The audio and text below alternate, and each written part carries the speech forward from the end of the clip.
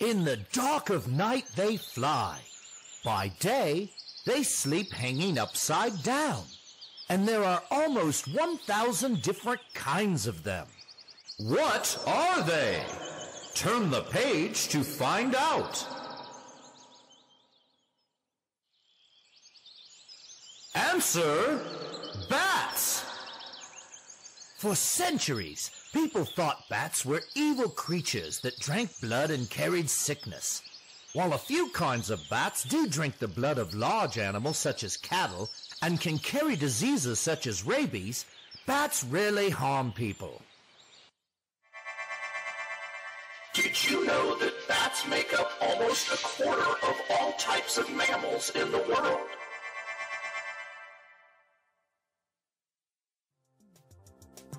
Vampire bat, tube-nosed bat, spectacled flying fox bat, spotted bat. What is a bat? Like dogs and cats, bats belong to a group of animals called mammals. Like all mammal mothers, bat moms feed their babies milk. Scientists divide bats into two main groups, megabats and microbats. Megabats are usually larger than microbats, and they have better eyesight. The bat is the only kind of mammal that can fly. In fact, some bats can only fly. They cannot walk. A bat's wings are made of thin skin that's attached to its furry body and feet. Each wing includes five fingers, one of which is a claw. The bat's feet also have toes with claws. All of these claws help the bat hold on to rocks and branches. Claw, thumb, second finger, third finger, fourth finger, fifth finger, leg, tail. From tip to tip, some kinds of bats, like giant flying foxes, have a wingspan as wide as six feet. But there are also tiny bats, like bumblebee bats, with wingspans of only six inches, smaller than the length of a new pencil. Bats may weigh less than a penny, or they can weigh as much as 2.2 pounds, the weight of a 700-page book. You know that the bumblebee bat is the smallest mammal in the world? Giant flying fox.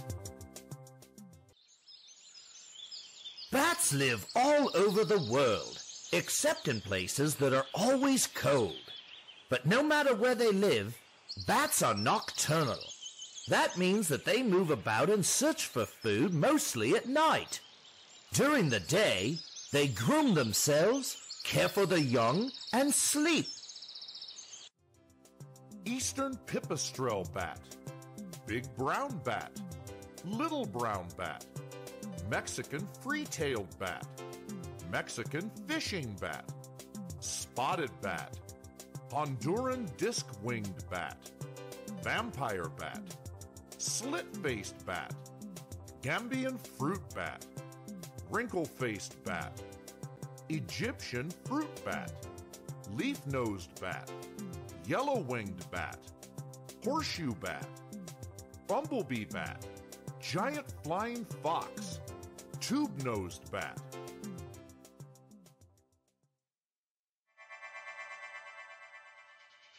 Bats, mammals, wings with claws, range of body colors, nocturnal, small sharp teeth. Like many timid creatures, bats are covered to blend into their surroundings.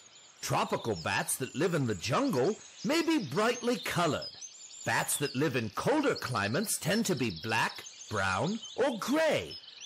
One other interesting fact about bat bodies, they have very sharp little teeth. What do bats eat? Megabats usually eat fruits and flower nectar. Such food is plentiful in the tropics of Africa and Asia where they live. Gambian fruit bat. Microbats, on the other hand, feed mostly on insects, spiders, and scorpions. Many of these bats catch insects in their mouths or wings as they fly.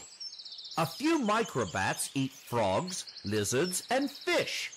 And vampire bats with their razor-sharp teeth drink animal blood. A single brown bat can catch and eat 1,200 mosquitoes in just one hour.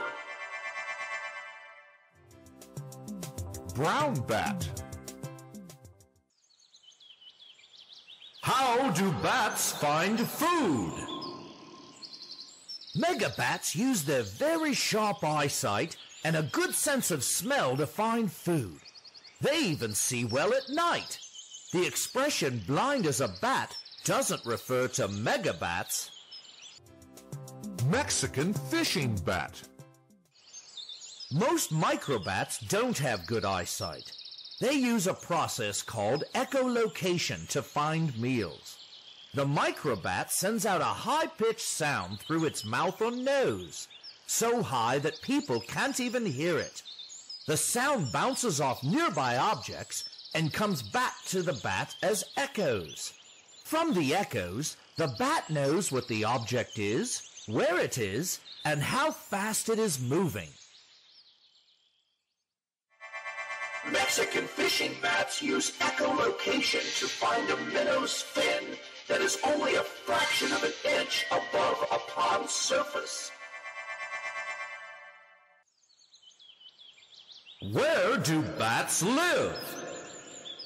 Similar kinds of bats live in groups called colonies. The place where the colony lives together is called a roost.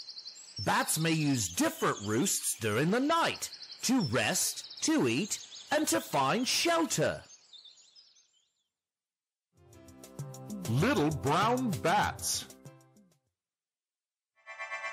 Roosts, dark caves, hollow trees, small crevices in rocks, abandoned buildings, tree branches, any sheltered place with low light. When sleeping in their roosts, bats hang upside down. The claws on their feet and wings help them hold on to cave ceilings, branches, and other high places. Lyle's flying foxes. Disc-winged bat. In India, one kind of horseshoe bat shares the roost with large porcupines. Ouch! How does a bat grow up? Every spring, mother bats give birth in nursery caves. When the mother leaves the cave roost to find food, she usually goes without her baby, which is called a pup. Her waiting pup may play with other pups along the walls or on the floor of the roost. When the mother returns, she finds her baby by its smell and the sound it makes, even when there are thousands of other babies in the roost. The pups grow up very fast, usually taking their first flight when they are three weeks old. Each pup continues to drink its mother's milk for six weeks. Within a couple of months, it learns how to fly out into the dark night with its mother to find food.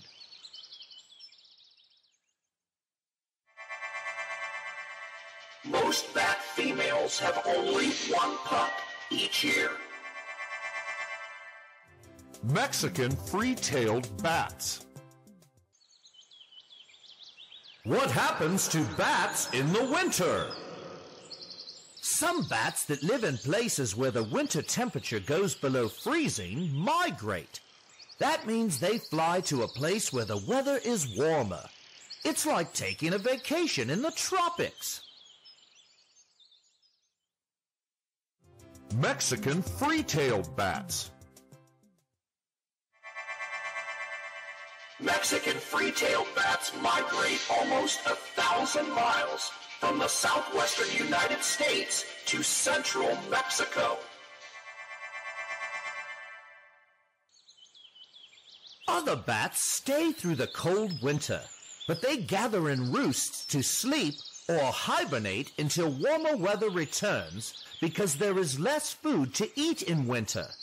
Bats that live in places where the weather is always warm don't have to migrate or hibernate. Horseshoe bats. In hibernation, a bat's heart rate may drop from 400 beats a minute to 25. The slower heart rate burns less calories, so the bat can go without food for a long time. How do bats protect themselves? Bats are protected from most animals because they fly at night when other creatures are asleep. Also, bats live in isolated roosts hanging from high places where animals can't get to them. Bats have few enemies, mainly hawks, owls, and snakes. Sometimes people become a bat's worst enemy because they fear it. But people are only in danger if they pick up a sick bat. The animal may bite in self-defense. Because they have few enemies, many bats live a long time. Some have been known to live for more than 30 years.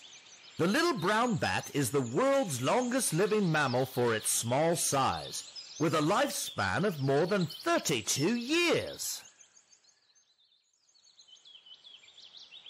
Bet you didn't know. The pallid bat is immune to the stings of scorpions and centipedes, which it eats. The big brown bat of eastern North America usually gives birth to twins. The vampire bat drinks a little less than a thimbleful of blood each night. Orphan flying foxes have been raised by people. They become very friendly, snuggling up to their masters and licking their faces. Long-eared bats fold their ears back like accordions when they sleep. Mexican free-tailed bat. Bats are the most important natural enemy of flying insects, such as mosquitoes. For example, Mexican free-tailed bats eat close to 40 million pounds of insects every year. Yes, indeed. Bats are fascinating. And if you're lucky enough to live near a cave or forest, you may look up one evening just before dark and catch a glimpse of this marvel of the air, the only mammal that flies.